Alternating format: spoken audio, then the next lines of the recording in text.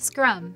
If you work in or around tech, you've probably heard this word and maybe wondered what it is.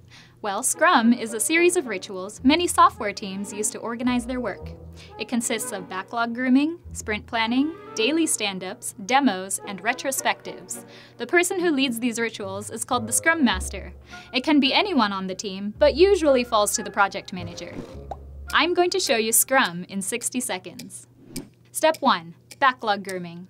As a team, look at all the features and tasks required for this project. Make sure that they're in priority order and track any dependencies. The goal is to have tasks in their ideal sequence and defined as well as possible. Step 2. Sprint planning. In standard Scrum, a sprint lasts for two weeks. During sprint planning, you and your team grab the tasks you believe are achievable within the next sprint. If you did your backlog grooming well, it should be easy to grab tasks off the top of the prioritized list. Step 3 Daily stand up. Every day, give your team the opportunity to sync on what they accomplished yesterday and what they plan to accomplish today. If there are any blockers, make sure to raise them so your project manager can help. Step 4 Demos. Show off what you accomplished this sprint.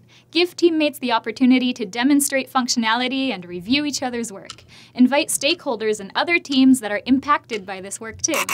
Off, Rick, I'm not done yet. Let me finish though, this is important stuff. Step 5 Retros.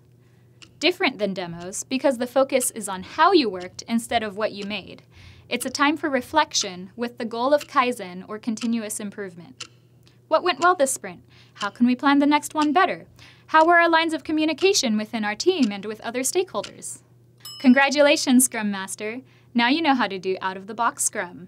Use it as a starting point and make adjustments to the rituals to meet your needs. There's a lot more nuance than can be described in 60 seconds, but you'll get it with practice and Kaizen. If you have any suggestions for future topics, be sure to leave a comment. And if you want to know more about Scrum, I recommend starting with the free PDF, Do Better Scrum.